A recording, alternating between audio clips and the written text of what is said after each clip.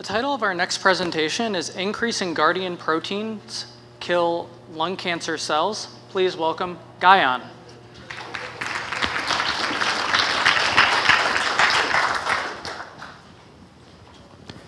The American Cancer Society estimates about 158,000 deaths due to lung cancer in 2015. More people die due to lung cancer than of breast, colon and prostate cancers combined.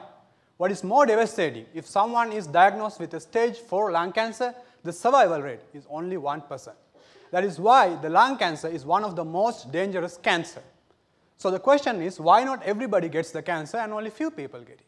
The answer is, all of us are born with class of protein molecule known as guardian proteins and their job is to protect us from getting cancer every day. Unfortunately, in this lung cancer patient, these guardian proteins are killed by another class of molecule known as miRNA or microRNA. It has been shown by multiple studies in lung cancer patients. These killer molecules are overexpressed and they kill these guardian proteins and that is one of the reasons they got the cancer. But as RNA biology lab, what we found out, there are two conformations of these killer molecules under uh, cellular concentration of potassium ion. One look like this bobby pin, it facilitates the maturation of this killer molecule. Other one known as tetraplex, which inhibits the maturation of this killer molecule.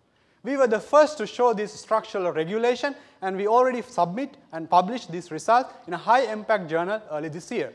But we did not want to stop there.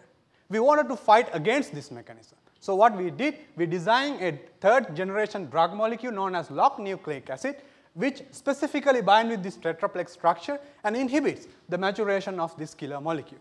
So when we treat the lung cancer cells with this drug molecule, we observed we can decrease the level of this killer molecule and thereby we can increase the guardian protein expression. So once you have enough guardian proteins inside your cells, we can restore the self-defense mechanism of the cells against the cancer.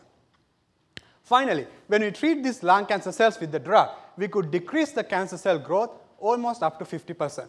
I'm just showing one piece of data here, but each and every step of this diagram has been confirmed by multiple experiments and we are almost ready to publish these exciting results. I would like to conclude my talk with the saying of a famous athlete who was diagnosed with cancer. He said, we have two options emotionally and medically. First is to give up, second is to fight like a hell. As scientists, we want to fight like a hell and that's what we do every day in our lab. Thank you very much for giving me this wonderful opportunity.